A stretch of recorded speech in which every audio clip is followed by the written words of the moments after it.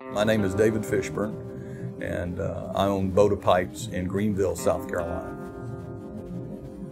Well, I think there's a whole culture behind the tobacco leaf. Ever since um, the Columbus saw that native walking on the beach with a rolled up bunch of leaves, it was tobacco. and uh, but but it, it's it's it's an intriguing plant. It does have nicotine, which is it is stimulating, just like a cup of coffee is.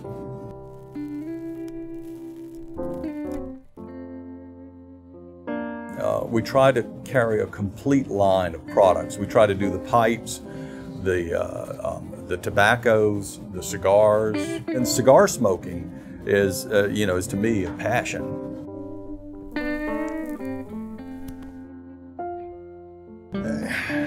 Cigarette smoking is a habit, and uh, pipe smoking is a, is a fantastic hobby. You know, the, the, there's a lot more built around it. The different tobaccos, it isn't always about smoking the same tobacco. When one of your friends says, look, I just got a tin of this special tobacco. It's been pressed and aged with such and such a tobacco. It has this kind of character.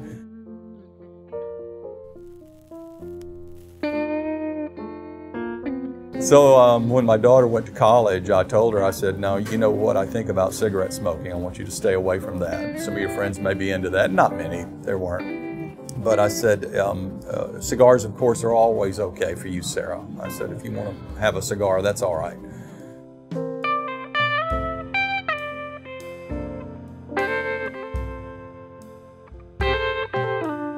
Future of Boda, we've really done quite well here over the years. People know where we are and generally will seek us out.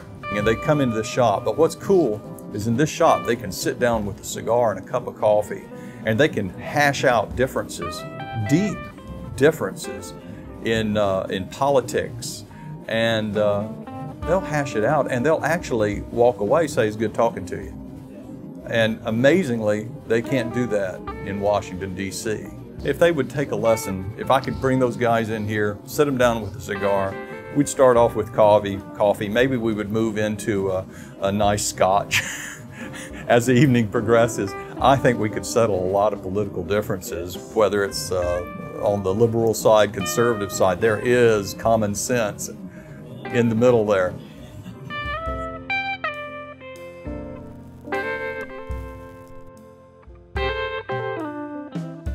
A lot of new faces, and uh, our attitude is, you know, these these customers are almost like stockholders to us, and uh, we want to welcome them and take care of them.